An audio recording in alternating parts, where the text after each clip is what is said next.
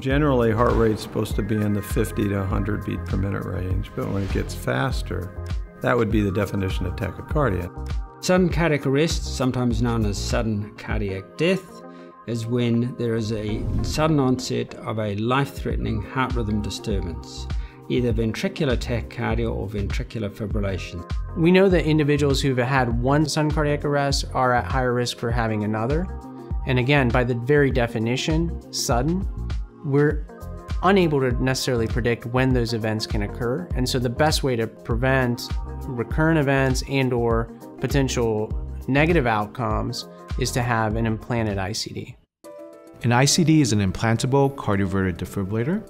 It's basically a device that serves as a guardian angel that basically can track for the presence of an arrhythmia, usually a fast arrhythmia, a tachycardia, and it basically can step in and terminate and stop the arrhythmia at a moment's notice if, if necessary.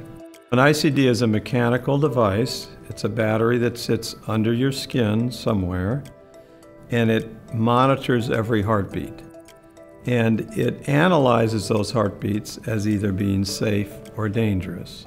And when you get into the danger zone, it watches and sees how long does that progress. And if that danger zone progresses beyond an acceptable limit, then it begins to treat.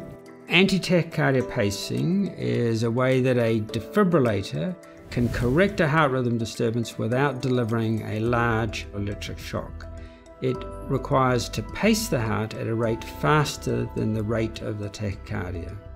This is available in transvenous defibrillators and is also now available in the extravascular defibrillator. The way it treats is one with a pacemaker treatment, you don't feel that. And then subsequently, if that doesn't work, then it gives you a shock and it reverses that life threatening arrhythmia that would result in sudden cardiac death if it was untreated.